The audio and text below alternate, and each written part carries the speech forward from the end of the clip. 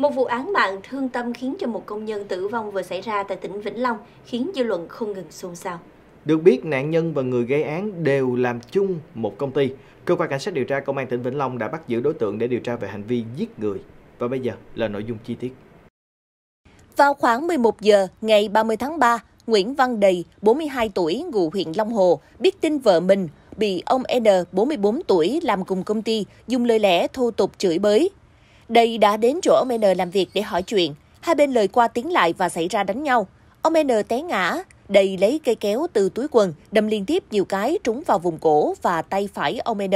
Khi thấy nạn nhân bị chảy nhiều máu, Đầy dừng lại rồi cầm kéo đến đồn công an khu công nghiệp Hòa Phú đầu thú.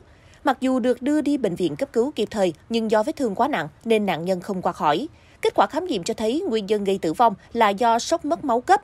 Được biết, hai vợ chồng Đầy và ông Eder đều làm chung một công ty trong khu công nghiệp Hòa Phú. Hiện cơ quan cảnh sát điều tra công an tỉnh Vĩnh Long đang tiếp tục điều tra làm rõ vụ việc để xử lý theo quy định của pháp luật.